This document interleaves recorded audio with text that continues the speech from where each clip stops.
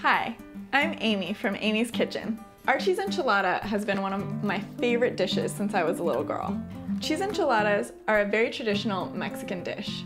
You start with a fresh corn tortilla, fill it with cheese, cover it in a delicious enchilada sauce, and then cook it to perfection. Some people expect that enchiladas are going to be very similar to burritos, but in reality, because enchiladas are open on the ends, once that cheese starts to melt, some of that delicious cheese is gonna ooze out and the enchilada will actually flatten. And that's exactly the way it's supposed to be. To cook the enchiladas in the microwave, first, you're going to make a one inch slit in the top of the overwrap. Cook it on 50% power or medium for five minutes.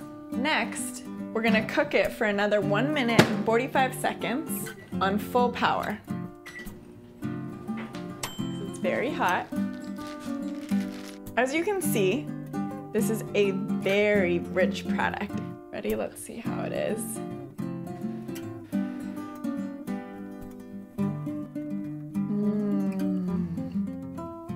It's delicious. Alternatively, you can cook the cheese enchiladas in the oven at 400 degrees for 35 to 40 minutes. So I hope you enjoy our delicious cheese enchiladas.